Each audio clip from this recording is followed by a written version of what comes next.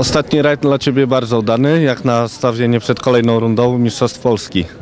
E, Podchodzimy spokojnie do, do, do jazdy. Ten rok cały ma być jako testowy. Ostatnio wyszło bardzo fajnie. E, Byliśmy również na Bochemii. Miał być to taki, e, że tak powiem, roz, dla rozjeżdżenia się rajd. Niestety wiemy, co się stało, więc, więc tak naprawdę testów żadnych przed rajdem nie mieliśmy. Dzisiaj odcinek testowy.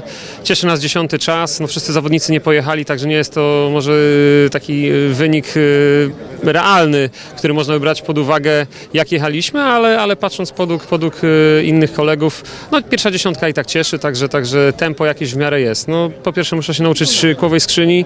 E, Jest w tej chwili pierwszy rajd e, w tym aucie, więc, więc tak naprawdę trochę nauki, ale myślę, że nam pomoże w osiąganiu dobrych czasów. Na to przede wszystkim liczę. Jak Ci pasuje trasa rajdu rzeszowskiego?